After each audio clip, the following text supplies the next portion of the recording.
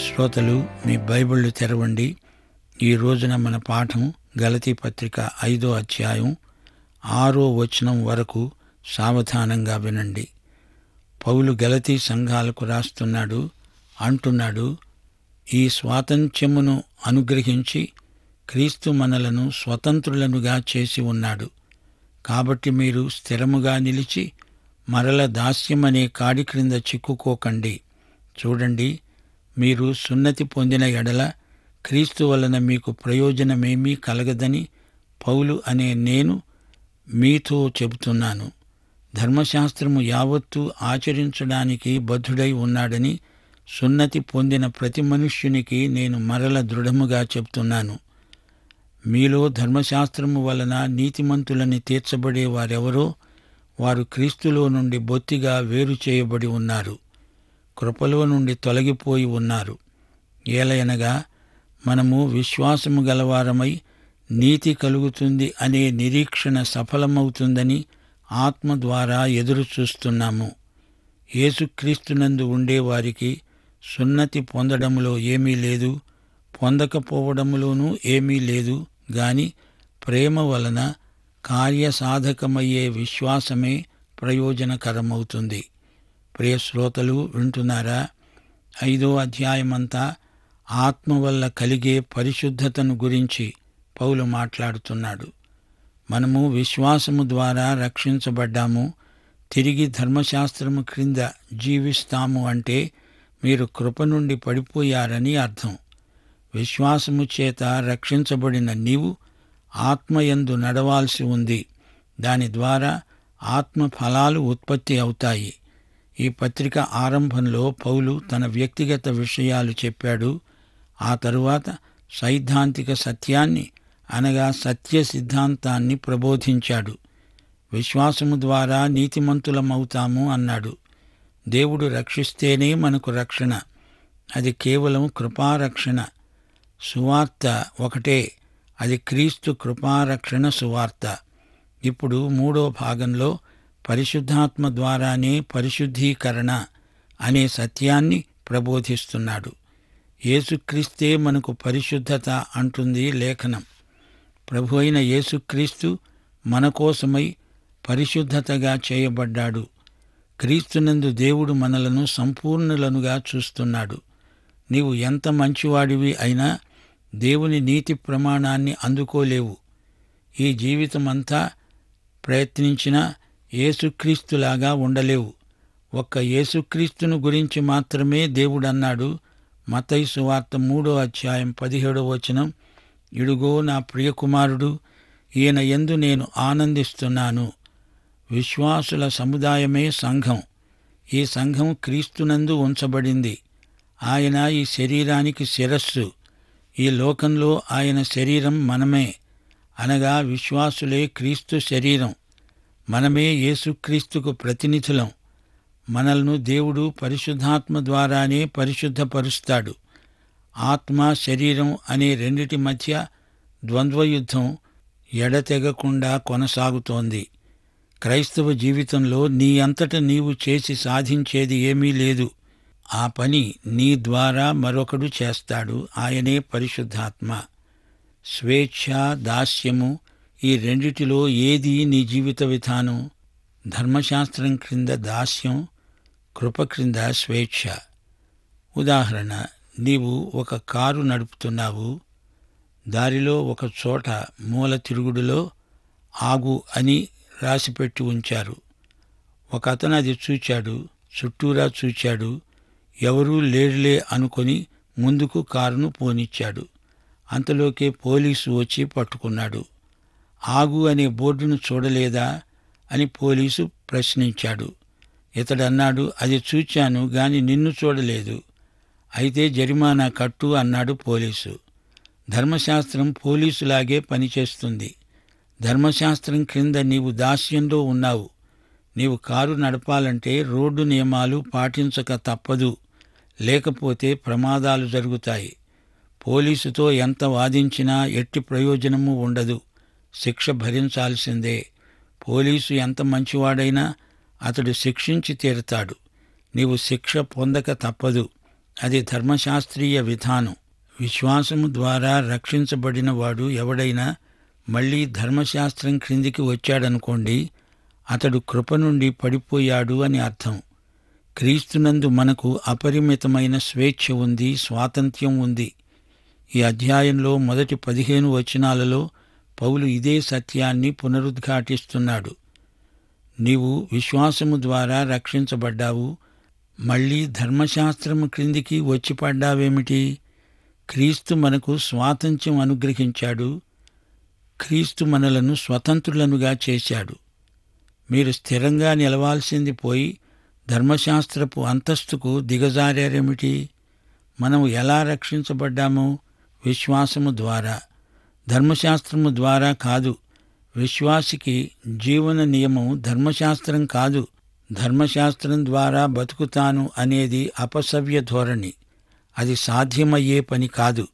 కృపచేత రక్షించబడిన వారమే మనం విశ్వాసులం. కృపచేతనే మన జీవితం కొనసాగాలి. కృపచేతనే మనలో పరిశుద్ధాత్మ నివాసముంటాడు. ఆత్మ నింపుదల మనకు కృపచేతనే ప్రాప్తిస్తుంది. గనుక మనం ఉన్నత స్థాయిలో పై అంతస్తులో జీవించగలం.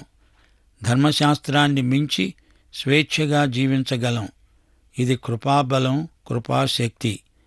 యేసును రక్షకునిగా అంగీకరించినందున కలిగిన ఫలితమే ఇది. క్రీస్తునందే మనకు ఇదంతా ప్రాప్తించింది సంక్రమించింది. రక్షణ పరిశుద్ధీకరణ ఈ రెండూ మనకు కలిగాయి. నేను నీవు క్రీస్తు దగ్గరికి వచ్చినప్పుడు మన జీవమునకు భక్తికి అవసరమైనదంతా మనకు లభించింది. క్రీస్తునందు విశ్వాసముంచిన మనము ఆయన ఎందలి నమ్మికను కొనసాగించుకోవాలి నిర్వహించుకోవాలి. తిరిగి ధర్మశాస్త్రాన్ని ఆచరించే విఫల ప్రయత్నం చేయకూడదు. ధర్మశాస్త్రీయ విధి రూపకమైన ఆజ్ఞల క్రిందికి రావడం తప్పు. అది తిరోగమనం. క్రీస్తునందు మనకు స్వేచ్ఛ ఉంది. క్రీస్తు మరొక ధర్మశాస్త్రం లాంటిది ఇస్తాడనుకుంటున్నారా? కాదు కాదు. ధర్మశాస్త్ర దశాజ్ఞలను ముందు పెట్టుకొని వాటిని చేసే కసరత్తు మనం చేస్తామా? చేయాల్సిన అగత్యమే లేదు. దశాజ్ఞలు కాదు మన గురి. మన లక్ష్యం యేసుక్రీస్తు దశాజ్ఞలను ఉల్లంఘించటం కాదిది. ధర్మశాస్త్రమును నెరవేర్చిన క్రీస్తు వైపు ఉంది మన దృష్టి. క్రీస్తు దగ్గరికి వచ్చాక రెండో ఆశీర్వాదం మనకు కావాలా? అంతా రక్షణలో ఇమిడి ఉంది. క్రీస్తు అవసరమైనదంతా మనకిచ్చాడు. ఎఫసి పత్రిక మొదటి అధ్యాయం మూడో వచనం స్పష్టంగా చెబుతోంది. పరలోక విషయములలో ఆత్మ సంబంధమైన ప్రతి ఆశీర్వాదము మనకు వచ్చింది. ఏ ఒక్కటి ఇవ్వకుండా దేవుడు వెనుక తీయలేదే. క్రీస్తునందలి క్రీస్తు చైతన్యం మనల్ను దశాజ్ఞలను మించి జీవింపచేస్తుంది. క్రీస్తునందు కేంద్రంలో ఉన్న మనకు కంచె అక్కర్లేదు. అతిక్రమం అనే ప్రసక్తే లేదు. క్రీస్తునందలి జీవితానికి ధర్మశాస్త్రపు ఆజ్ఞలను గురించిన కంగారు ఉండదు. దాస్యపు ఆత్మ కాదు మనలో ఉన్నది స్వేచ్ఛాత్మ స్వతంత్రాత్మ. క్రీస్తునందు మనకు ప్రేమ నియమం ఉంది. మనం క్రీస్తును సంతోషపెట్టాలని కోరినప్పుడు పరిశుద్ధాత్మ మనకు అట్టి కార్యశక్తి కార్యసిద్ధి కలుగచేస్తాడు. తిరిగి ధర్మశాస్త్రపు కాడి కింద చిక్కుకుంటారేమిటి? అవివేకులైన గలతీ విశ్వాసులారా వెనక్కు జారిపోకండి. మనం ఒక సంస్థను కాదు యేసును సంతోషపెట్టాలని తాపత్రయపడుతున్నాం. యేసుక్రీస్తు మనకిచ్చిన ఈ స్వతంత్ర ప్రతిపత్తి ఎందు నిలిచి ఉండాలి నిలకడగా ఉండాలి. ధర్మశాస్త్రం దాస్యపు కాడి అంటూ ఈ సమస్యను ఎంతో విడమర్చి విషదం చేసి చెప్తున్నాడు పౌలు. క్రీస్తునందున్న మీరు ఇప్పుడు మళ్ళీ ధర్మశాస్త్రీయమైన సున్నతి సంస్కారానికి తలొగితే క్రీస్తు మీకోసం చేసిందంతా వృధా అయిపోతుంది. సున్నతి ధర్మశాస్త్రీయమైన గుర్తు. ఈ గుర్తింపు నీవెవరో చూపుతుంది. నీవు క్రైస్తవ కృపకు చెందిన వాడివి నీవు క్రీస్తు మనిషివని తెలియచేయడానికి ఏదైనా గుర్తింపు ఉంటే పెట్టుకో అభ్యంతరమేమీ లేదు కాని ఈ సున్నతి నీవు ధర్మశాస్త్ర వ్యవస్థకు చెంది ఉన్నావనడానికి గుర్తింపు. అది నీకెందుకు? అని విశ్వాసిని పౌలు నిలదీసి అడుగుతున్నాడు. ప్రభువు మనలను రక్షించాడు. అందులో నీవు చేసిందేమీ లేదు. నీవు ప్రభువు చేసిన దానికి ఏది చేర్చినా అది ప్రభువుకు చెందింది కాదు. శ్రేష్టమైన ఔషధం ఉందనుకో అది మాత్రమే నీ రోగాన్ని కుదర్చగలదు. అయితే దానితో మరొక ఔషధాన్ని చేరిస్తే అసలు ఔషధం పనిచేయదు. సువార్తను కల్తీ చేయకూడదు. దేవుని రక్షణ ప్రణాళిక కేవలం దేవునిదే. క్రీస్తు ఒక్కడే రక్షకుడు.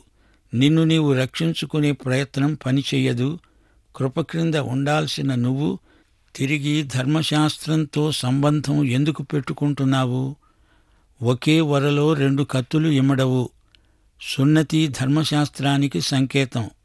సున్నతి సంస్కారం మీద నీ రక్షణ ఆధారపడి ఉండదు. అలాంటి విఫల ప్రయత్నం చేస్తే క్రీస్తు వల్ల నీకు అవసరమైన ప్రయోజనం సిద్ధించదు. రక్షణ కోసం రక్షకుడైన క్రీస్తు మీదనే ఆధారపడాలి. క్రీస్తు దగ్గరికి ఎందుకు వస్తాము? ఆయనే రక్షకుడు అని నమ్మాము గనుక. అంతే. ఆయన దగ్గరికి రావడానికి ఏమి సత్కార్యం చేశావు? అని ఆయన అడగడు. ప్రభువా నేను అలా చేశాను ఇలా చేశాను. నాకెంతో మంచి పేరుంది అంటే ఆయన అంగీకరించడు. ప్రభువా నేను రిక్తుణ్ణి నీవు నా రక్షకుడివి అని నమ్ముతున్నాను అను ఆయన వెంటనే నిన్ను చేర్చుకుంటాడు. పౌలు ఇదే మాట అంటున్నాడు మీరు సున్నతి పొందిన ఎడల క్రీస్తు వలన మీకు ప్రయోజనమేమీ కలగదు. ఈ మాట పౌలు నిష్కర్షగా నిర్ద్వంద్వంగా ఖండితంగా చెప్తున్నాడు. క్రీస్తును తప్ప నువ్వు మరేది నమ్మినా నీవు క్రైస్తవుడవు కానే కావు.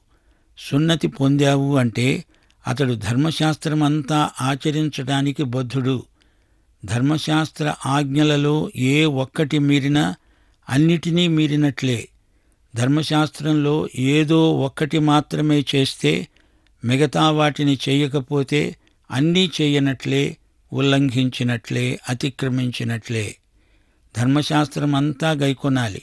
అంతేకాని నీవు చెయ్యగలిగినవి ఒకటి రెండు గైకొన్నాను అంటే ధర్మశాస్త్రం ఒప్పుకోదు. మిగతావి చెయ్యనందుకు నిన్ను శిక్షిస్తుంది. నీవు నేను ధర్మశాస్త్రం క్రింద కాదు కృప క్రింద ఉన్నాము. క్రీస్తునందు మనము స్వేచ్ఛా స్వాతంత్ర్యము అనుభవిస్తున్నాము. మనము సర్వకాల సర్వావస్థల్లో క్రీస్తునే సంతోషపెట్టాలని ఎంతగానో ఆశిస్తాము. మనము ధర్మశాస్త్ర వ్యవస్థకు దాసులము కాము.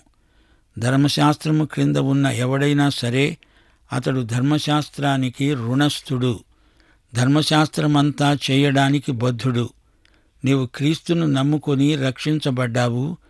తిరిగి కిందికి అనగా ధర్మశాస్త్రం కిందికి వెళ్ళిపోయావు అంటే నీవు కృప నుండి పడిపోయావన్నమాట. కృప నుండి తొలగిపోవటం అంటే పాపంలో పడటం కాదు నరకంలోకి దూకడమూ కాదు ప్రవర్తనలో పాపం చేసి భ్రష్టుడవడమూ కాదు. రక్షణను కోల్పోయి తిరిగి మొదలెత్తుకోవడము అంతకన్నా కాదు. ఈ సందర్భంలో కృప నుండి తొలగిపోవడము అంటే రక్షణను కోల్పోవడము కాదు కృపను దుర్వినియోగం చేయడం. రోమాపత్రికలో పౌలు ఈ అంశాన్ని ఇంకా లోతుగా చర్చించాడు. మనిషి స్వతహాగా నీతి లేనివాడు పాపి. అతడు కుళ్ళిపోయిన చెడిపోయిన పండులాంటివాడు. మానవుడు దేవుని ఎదుట పాపి ముద్దాయి. అయితే రోమాపత్రిక ముగింపులో అతడు పరిశుద్ధుడు నీతిమంతుడిగా పరిగణించబడ్డాడు. అతనిది నైతిక ప్రవర్తన ఆత్మానుసారి దేవుని కోసమై ప్రత్యేకించబడినవాడు. అతడు దేవునికి విధేయుడైన సేవకుడు. అతడు సర్వకాల సర్వావస్థల్లో దేవునికి విధేయుడే. పతనమైన వ్యక్తి దేవునికి నమ్మకమైన సేవకుడుగా మారాడంటే ఏం జరిగింది? అతనికి రక్షణ కలిగింది. అతడు పరిశుద్ధీకరించబడ్డాడు. ఈ రెండు దివ్య కార్యాలు అతని జీవితంలో సంఘటిల్లాయి. రక్షణ అంటే విశ్వాసము ద్వారా నీతిమంతుడవడం. ఇది చాలా ప్రాముఖ్యమైన సంఘటన. రక్షించబడిన తరువాత నీవు పరిశుద్ధత అనే ఉన్నత స్థాయికి హెచ్చించబడ్డావు. అది ఉత్తమ అంతస్తుకు చెందిన పరిశుద్ధ జీవితం. క్రైస్తవ సేవను చులకనగా చూడకండి. సేవకుని జీవితంలో ఉన్నత ప్రమాణం అమలులో ఉంటుంది. అది పరిశుద్ధ జీవిత విధానం. సేవకుని జీవిత శైలి లోకానికి సాక్ష్యమిస్తుంది. ఈ రోజున లోకం సంఘాన్ని వేయి కండ్లతో పరీక్షగా కనిపెట్టి చూస్తోంది. పనిచేస్తున్నారు దానికి సేవ అని పేరు పెడుతున్నారు కానీ సేవ కేవలం పని కాదు. సేవకుని సాక్ష్యానికి అతని జీవితం సరిపోవాలి. తేడా కనపడకూడదు.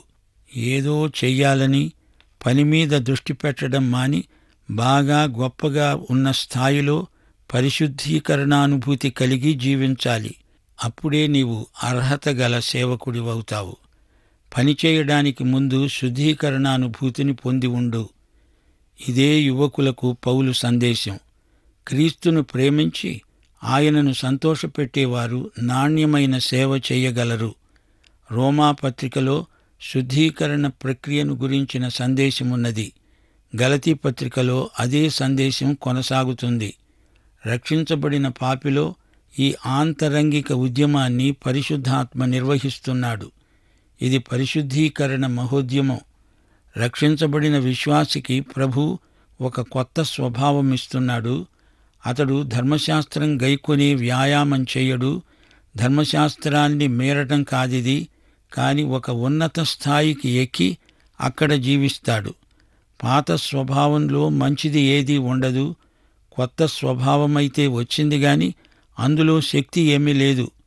రోమాపత్రిక ఏడో అధ్యాయం పద్దెనిమిదో వచనం నాయందు అనగా నా శరీరమందు మంచిది ఏదీ నివసించదని నేనెరుగుదును. మేలైనది చెయ్యాలనే కోరిక నాకు కలుగుతున్నది గాని దానిని చేయడము నాకు కలగడము లేదు. ఇది పౌలీయమైన స్వానుభవం. రోమాపత్రిక ఏడో అధ్యాయం ఇరవై నాలుగో వచనం. రక్షించబడినవాడే అయినా పౌలు ఆక్రందన చేశాడు. అయ్యో నేనెంత దౌర్భాగ్యుణ్ణి? ఇట్టి మరణానికి లోనైన శరీరము నుండి నన్నెవడు విడిపిస్తాడు? తన రక్షణ పోయిందని పౌలు ఆర్తధ్వని చేస్తున్నాడా? అలా కానే కాదు. అతడు ఓడిపోయినందుకు ఏడుస్తున్నాడు. దేవుడు ఒక నూతన నియమాన్ని ఆయనకు నేర్పుతున్నాడు. ఈ కొత్త నియమము ఏమిటనుకుంటున్నారు? ఆత్మ ఫలం. ఈ అంశం గలితీ ఐదో అధ్యాయంలో పౌలు ఎక్కువగా చర్చించాడు. ఫలవంతమైన జీవితం ఇది పరిశుద్ధాత్మ పండించే పంట. అనేక మంది జీవితాలలో ఫలాలుండవు. అందరికీ వరాలున్నాయి కానీ ఫలాలు లేకపోవడం చేత సౌశీల్యరహితమైన సేవకులైన వీరిని బట్టి సేవా రంగమే కలుషితమైపోతుంది. ఉన్నత స్థాయి జీవితం మనకుండాలి. ప్రభువు కోరుతున్నాడు కృపచేత రక్షించబడిన మనం విశ్వాసము ద్వారా నీతిమంతులమై జీవించాలి. మనము విశ్వాసము గలవారమై నీతి కలుగుతుంది అనే నిరీక్షణ సఫలమవుతుందని ఆత్మ ద్వారా ఎదురు చూస్తున్నాము. ఇది నీతి నిరీక్షణ. ఈ పత్రికలో నిరీక్షణ ఇక్కడ మొదటిసారి పేర్కొనబడింది. పౌలు తన ఇతర పత్రికలలో సంఘము ఎత్తబడుతుందనే నిరీక్షణను ప్రకటించాడు. క్రీస్తు రెండోసారి వస్తాడు తన రాజ్యం స్థాపిస్తాడు అనే ప్రవచన వాక్యాన్ని పలు సందర్భాలలో ప్రకటించాడు. గాని గలతీ పత్రికలో ఐదో అధ్యాయంలో అంటున్నాడు మన నీతి నిరీక్షణ సఫలమవుతుందని ఆత్మ ద్వారా ఎదురు చూస్తున్నాము. మనకు నీతి నిరీక్షణ యేసుక్రీస్తే మన నిరీక్షణ శుభప్రదమైనది. క్రీస్తే మన నీతి. భక్త మార్టిన్ లూథరుకు ఈ గలతీ పత్రిక ఎంతో ముఖ్యమైనది ప్రీతిపాత్రమైనది. ఆ తరువాత ఎందరో సంస్కర్తలకు దిద్దుబాటు ఉద్యమంలో గలతీ పత్రిక ఎంతో స్ఫూర్తినిచ్చింది. అందుకే వారు ప్రవచనాలు ఎక్కువ బోధించలేదు. దేవుని సంఘం ప్రవచనాలను ఎంతవరకు అవసరమో అంతవరకే బోధించింది. ఇక ఇరవయో శతాబ్దంలో ప్రవచనం మీద మనవారికి ఆసక్తి అత్యధికమైంది. వెయ్యేండ్ల పరిపాలనను గురించి పలు రకాల అభిప్రాయాలను వెలిబుచ్చిన ప్రవచన బోధకులు వచ్చారు. పౌలు ఈ పత్రిక మొత్తంలో ఇక్కడ మాత్రమే నీతి నిరీక్షణ ప్రవచనం పలికాడు. పౌలు సువార్త పక్షంగా మాట్లాడుతున్నాడు పోరాడుతున్నాడు. క్రైస్తవ జీవిత శైలి ఎలా ఉండాలో హితబోధ చేస్తున్నాడు. గత కాలంలో సంఘపితరులు అప్పటికి అవసరమైనంతవరకే బోధించారు. పరిశుద్ధాత్మ క్రమేణా మనలను సర్వసత్యములోకి నడిపిస్తూ వచ్చాడు. ప్రవచన సత్యాలను పౌలు పేతురు యాకోబు మత్తయి మార్కు లూకా బోధించారు. అదే ఆధారంగా మనం ప్రవచనాలను గ్రహిస్తాము బోధిస్తాము. ఇదే వాక్యపు వెలుగులో సంఘ పితరుల బోధలను మనం వినాలి విశ్లేషించాలి. అది సరే ఇక్కడ ఈ గలతీ పత్రికలో ప్రవచనాలపై ఎక్కువ దృష్టి పెట్టలేదు. ఒక్క మాట మాత్రం అంటున్నాడు పౌలు. మనము విశ్వాసము గలవారమై నీతి కలుగుతుంది అనే నిరీక్షణ సఫలమవుతుంది అని ఆత్మ ద్వారా ఎదురు చూస్తున్నాము. విశ్వాసులు ఇహలోక జీవితంలో పరిపూర్ణతను చేరుకోలేరు. కొందరు అనుకుంటారు మేము పరిపూర్ణులము. గాని ఆ మాట వారెంత అసంపూర్ణులో తేటపరుస్తోంది. మనము సంపూర్ణులమవడానికి సాగిపోవాలి. క్రైస్తవ జీవితాన్ని ధర్మశాస్త్రీయ విధులు రూపొందించలేవు.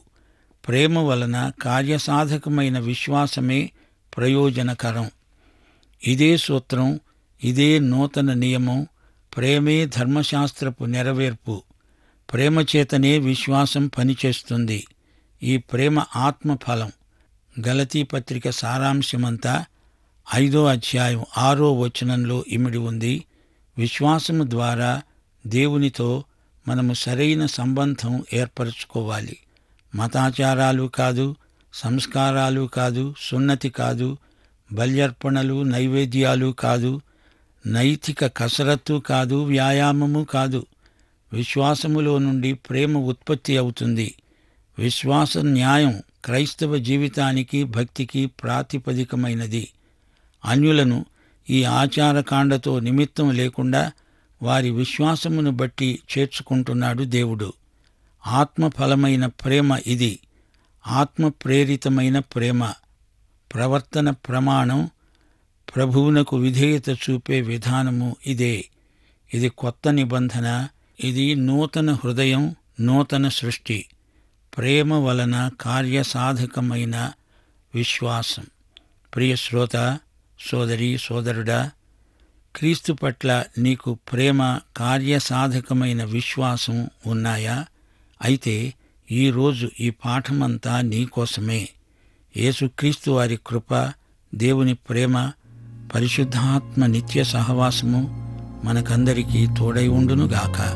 ఆమెన్.